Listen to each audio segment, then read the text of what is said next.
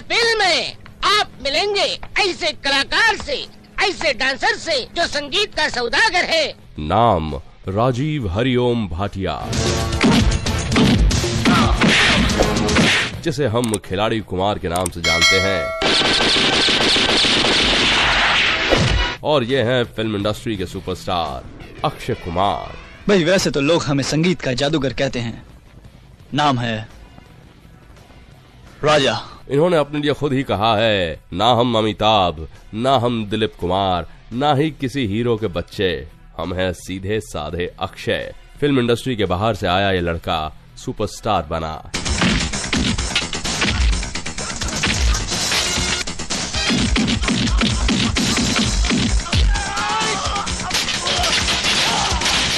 जन्म 9 सितंबर सन उन्नीस सौ सड़सठ। अक्षय कुमार का जन्म अमृतसर में हुआ था और परवरिश हुई पुरानी दिल्ली, यानी कि दिल्ली छह में।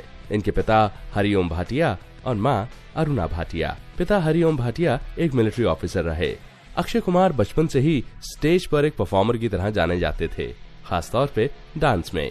दिल्ली के चांदनी चौक इलाके में रहते थे और उसके बाद ये मुंबई आ गए, जहाँ पे ये कोलीवाड़ा इलाके में रहने लगे। कामयाबी की उन बुलंदियों को छू सकूँ, जिसका सपना पापा और आपकी आँखों ने देखा था। मुंबई के डॉन बॉस्को स्कूल से इनकी पढ़ाई लिखाई हुई और मुंबई के ही गुरु नानक खालसा कॉलेज से हायर एजुकेशन की। तो तुम्हें लगता है कॉलेज की लड़कियों के पीछे मैं पढ़ाऊँ? मैं पढ़ाऊँ? अरे वो मेरे आगे आगे घूमती है। वो और बात है कि एक साल के बाद ही ये पढ़ाई छोड़ बैंकॉक चले गए मार्शल आर्ट सीखने के लिए।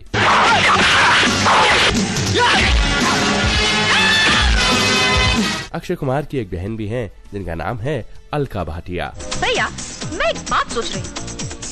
आपके दिल की एल्बम में हज़ारों लड़कियों के फोटोग्राफ्स हैं। मगर उनमें से क्या कोई एक भी आप सिलेक्ट नहीं कर सकते जो मेरी भाभी बन सके? जब अक्षय चौदह पंद्रह साल के थे तब इनके वालिद ने इनसे एक बार सवाल पूछा कि तुम बड़े होकर क्या बनना चाहते हो? और तब अक्षय कुमार ने कहा था कि मैं एक्टर बनना चाहता हूँ। दोस्तों! हिंदुस्तान में ही इन्होंने ताइक्वांडो में ब्लैक बेल्ट हासिल की। बैंकॉक में मार्शल आर्ट्स की पढ़ाई की जहाँ पे ये बतौर शेफ और वेटर काम किया करते थे। कल से तू होटल जाएगा। बस। मुंबई वापस आ जाने के बाद अक्षय कुमार ने मार्शल आर्ट सिखाना शुरू किया और अभी भी एक्टिंग की मंजिल काफ़ी दूर थी। कोई राह नज़र नहीं आ रही थी और तब सूरज चमका।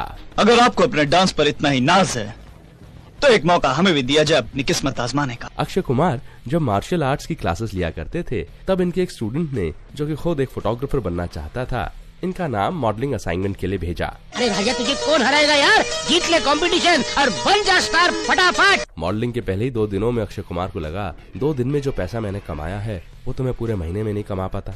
इसलिए मॉडलिंग का ही रास्ता चुन लिया जाए।